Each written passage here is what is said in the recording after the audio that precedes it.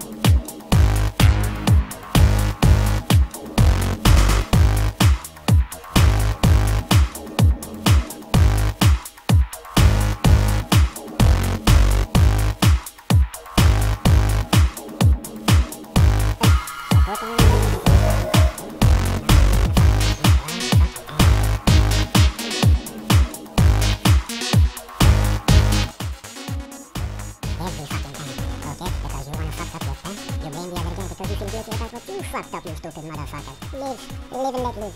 Get on and don't ever fuck about with me because I love you. fucking time. Every fucking time. Okay? Because you wanna fuck up your past. You blame the other guy because you feel guilty about what you fucked up, you stupid mother.